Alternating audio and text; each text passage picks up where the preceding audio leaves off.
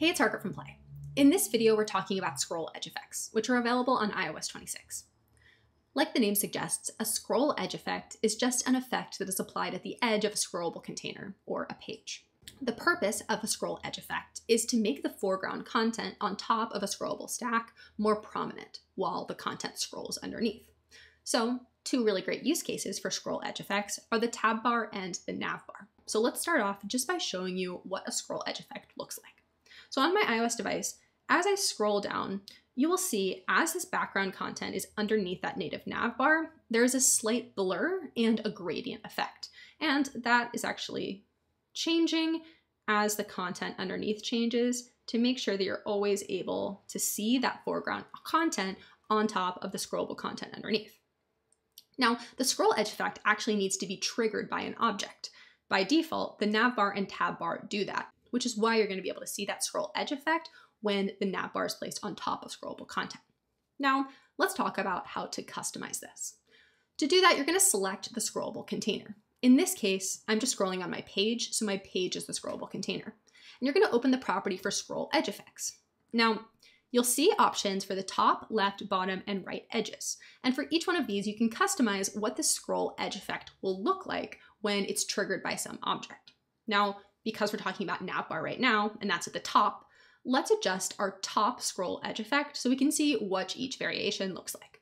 By default, it's auto, but we also have soft, hard, and hidden. Let's do soft quickly. Now, as I scroll down, you'll see soft looks very similar to our auto. It has a gradient plus a gradient blur. With hard scroll edge effects, you'll see as I scroll down, there's no longer that soft gradient separating the foreground from the background content. It instead has this harder line.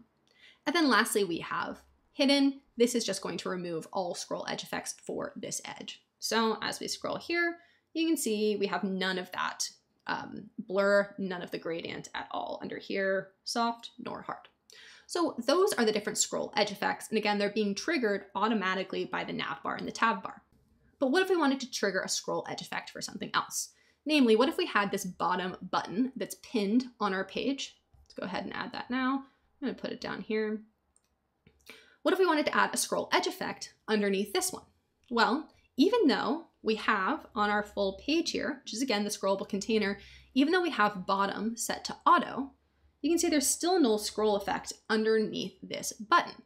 That's because we are not triggering the scroll edge effect. So we need to do that by selecting the object itself, in this case, the button, and going over into the connect edge effect property in the appearance panel. In here, there's two properties. The first one is the scroll view that you want to trigger the scroll edge effect for. So we're going to select the full page here. And then you can choose the edge. So I can have it be all, or I can choose any of the edges. Since this is at the bottom, I want it to trigger specifically for the bottom.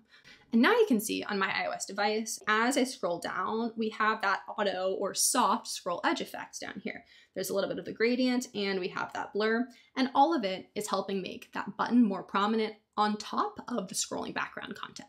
So that is scroll edge effects in play. Thanks so much for watching this video.